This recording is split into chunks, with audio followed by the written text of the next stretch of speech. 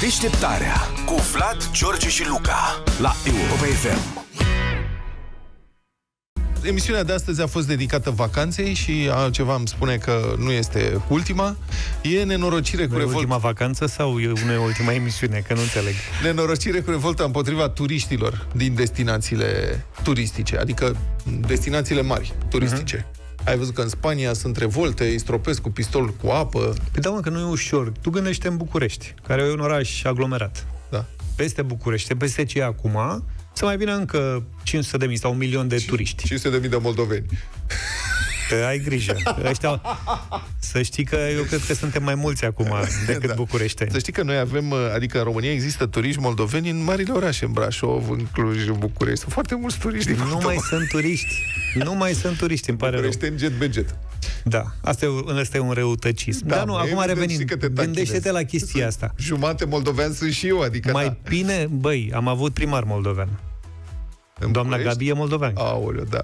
Înțelegi? Aoleu, că De uitați. la Bacău. Da, de Deci, dacă bucureștinii au votat o moldoveancă în fruntea Bucureștiului, la... Da, asta da, după, aia spune s-au, totul. după aia s-au căit. A, Asta e altceva. Da. Și deci citesc că în Sevilla, Sevilla are 25% din ce câștigă ei acolo în oraș vine de la turiști. Da, Și dar adevărat. uite că îi doare foarte tare. Da, au dat cu numărul 2 pe cutiile poștale, unde își lasă proprietarii de Airbnb cheile. Urât. Da.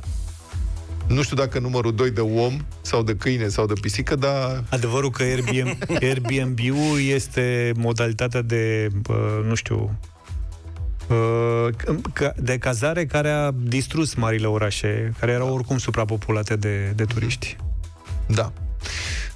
Sunt și venituri pentru oamenii care pot să-și permită E să adevărat. închirieze apartamentele acolo. Absolut. mai ales în zonele turistice. Dar a crescut și piața chiriilor în felul ăsta. Da, pentru localnici sunt convins că e complicat. În Creta au început să debarce turiștii direct în mare. Am văzut imagini. Cum mai au dat jos în apă? Da, mă, i-au dat jos. Deci sunt niște imagini, e un filmuleț pe o... Este un loc, îi spune plaja Balos. Eu nu am fost în Creta, nu știu. Nici Am eu n-am fost fost, eu, nu vă știu. poveste. Balos e o lagună. O lagună. Da. S-au dat direct în lagună? lagună ce înseamnă? Că Ia, e, Ce înseamnă laguna? Un Renault. e apă până la gleznă, cât vezi cu ochi. Aha. Ăștia erau până la brâu. Ea la un moment dat se mai începe să umple. crească, dar e foarte o porțiune foarte mare de nisip Aha. acoperit cu apă până la gleznă. Mică. Da. Stai, mă, Care, po- pe urmă, începe să se... Când te duci spre larg așa, începe să se adâncească. Poate e modalitatea lor de a primi turiștii acolo. Nu. Este foarte populară laguna asta, e patrimoniu UNESCO, bineînțeles, și protejată și așa mai departe. Și toată lumea care merge în Creta merge să vadă Elafonisi, unde este o altă lagună cu nisip roz, că e de la crustacee se face o șmecherie roz în nisip și pare roz toată. Aha. Și Balosul, care are și spectaculos, În Balos, este străjuit ima- de un mun... Imaginile sunt cu un șir de turiști, Mhm. cu apă până la genunchi, până la brâu, Da. care se îndreaptă spre plajă cum ar veni. Ca în Thailanda, știi? Numai Așa. că aici e în Creta.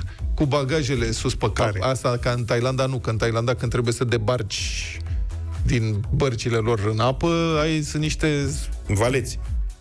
da, sunt niște niște domni care iau bagajele și le duc pe cap Da. până la plajă. Aici nu. Sunt unii și în spate se vede barca care nu s-a apropiat de plajă și de ce nu s-a apropiat de plajă? Că Sunt- se urcă pe nisip. E... nu, da, că se urcă pe nisip și trebuiau să autoritățile elene trebuiau să aprobe construcția unei, uh, unui debarcader plutitor Mhm. ca să acosteze la debarcader și după aia de pe de- debarcader să mergi naca-naca pânga-pânga până pe plajă. Mhm. Și autoritățile au zis nu, special ca să descurajeze turismul în masă, care înțeleg că în Balos este exagerat.